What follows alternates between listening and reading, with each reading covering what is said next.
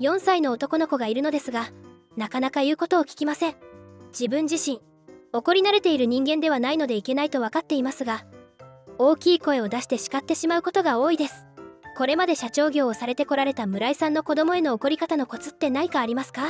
いやいい質問だと思います。私あの子供3人おりますんでまさにずっとそういうことを経験してきました。子育てが慣れていない1人目の時もう十何年前ですけれどももう自分の無力さに対してイラつきまして本当に子供に対してね切れそうになったこと何度もあるんですけれどもまあそれをこうこらえながらですね付き合い方を自分自身も学んできました。まあ結論で言うとですね私は怒らない。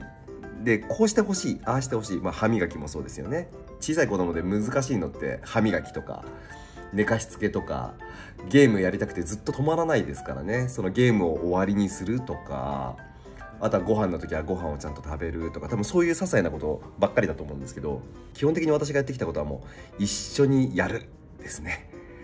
全く同じ目線で全く同じことを一緒にやる。大人からしたら簡単なことばっかりだとは思うんですけどそれを一緒になってやるっていうことです。子供の時間に合わせる。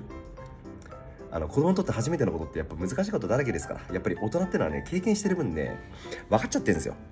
これはこうしたらいやしたらいいって。